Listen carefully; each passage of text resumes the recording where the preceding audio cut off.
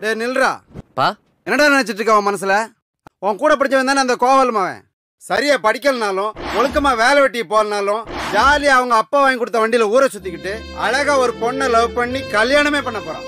நீ என்னடான்னா சம்பாதிக்கணும் செட்டில் ஆகணும்னு சொல்லிட்டு இருக்க. தண்டம். அப்பா உங்கள்கிட்ட ஒரு விஷயம் சொல்லணும்.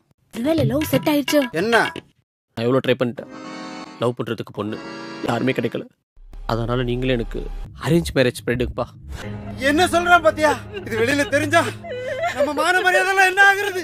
கேவலம் போய் போய் அரேஞ்ச் மேரேஜ் பண்றாங்கன்னு. நம்ம சொந்த பந்தமெல்லாம் நம்மள பார்த்து காரி துப்ப மாட்டாங்க. ஆமாண்ட தங்கம் அப்பா சொல்றது கேளுடா. எப்படியாச்சும் ஒரு பொண்ணை பிடிச்சி லவ் பண்ணி அவன் லவ் மேரேஜ் பண்ண மாட்டேன்னு எங்களையே பொண்ணு பார்க்க சொல்லிட்டான்ப்பா. அட பாவி ஆரஞ்சு மேரேஜா அப்பா இவனுக்கு இப்படி எல்லாம் சொன்னா புரியாதுப்பா. இவனை டீ கடைக்கு கூப்பிட்டு போய் ஒரு டீயை போட்டு அவனுக்கு சொல்லி சொல்லி புரிய வைக்கிறேன். நீங்க போங்க.